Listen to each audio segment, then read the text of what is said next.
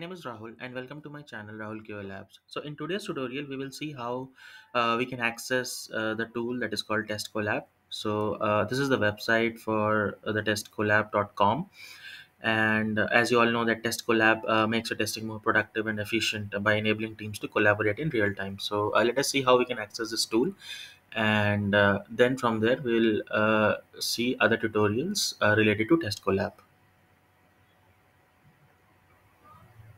Uh, this is the website for testcollab.com and uh, test collab is a test management tool that helps to carry out the testing effectively.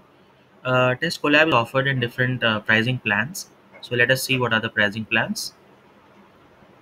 Okay so these are the different uh, pricings offered by testcollab. So this is the basic free plan that we have. And these are the different features which offers which is offered by the free plan so you can write uh, up to 200 test cases and uh, you can do 300 test runs. Uh, projects test plans are unlimited. You can create any number of projects and test plans. Uh, provides jira integration as well provides time tracking to-do list and seven days activity log. So this is the free plan uh, that we can utilize. Otherwise if you want to go for the paid plans so there are basic premium and enterprise plans. So basic is offered for $17 uh, per user per month. And premium plan is offered for $29 per user per month. So as you all can see that these are the different features we have for the respective plans. Okay? So uh, let's try to uh, sign up and uh, get into the tool and see how it looks like and what all features and facilities it provides.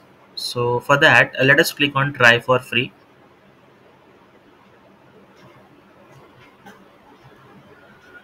okay so the page says that try test collab for free and uh, we need to enter our email address where a confirmation link will be sent. So uh, let's try to enter our email address.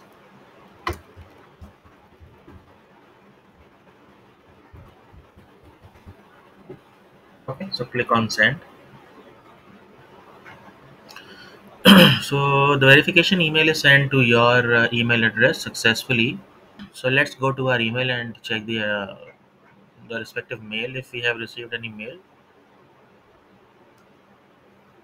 Okay not yet. Okay so this is the email uh, which says please verify your email address. And uh, thank you for signing up for test collab. Click the below button to verify your email. So we need to verify our email address. So let's click on verify email address okay the email is verified. Okay. Now you have to fill some you know basic details for the creation of your account. So full name um, i will give rahul qa labs company name rahul qa labs So, name i will give my name and password you can select as per your convenience.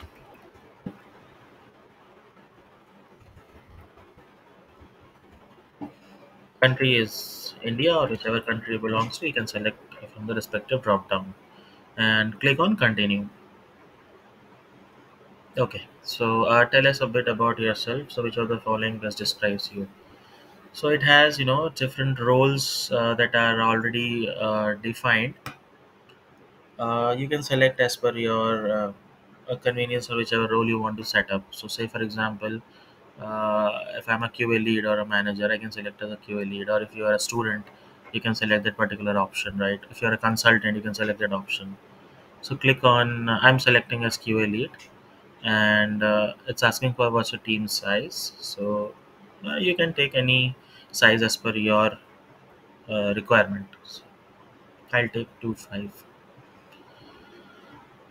and what's your company size? Uh, i'll take the first example of 1 to 10 and what industry is your company in?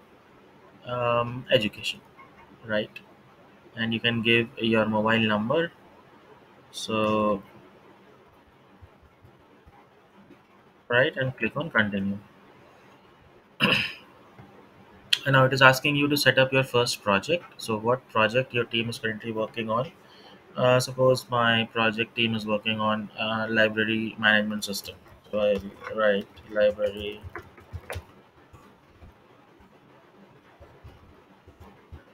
management system. I'll click on save. Okay, so uh, this is how your dashboard will look like. Uh, you have logged in successfully into uh, you know the UI uh, tool or the version, and on the left hand side you can see the project name and the different options like project dashboard, test cases, test plans, requirements, reports, and settings. On the right hand side you can see a notification bell and uh, then you have some tasks that are set up. As of now we don't have any tasks set up so that is why it is blank. If you come on this so it has a help center roadmap and you can contact you can contact us as well. And on the top right you can see the account settings like rahul qa labs uh, projects administration your profile settings and the logout button okay? And since this is a free plan on here you can see as uh, it is depicted free plan and this is the limit as we saw uh, initially right? Okay so if you want to upgrade you can upgrade.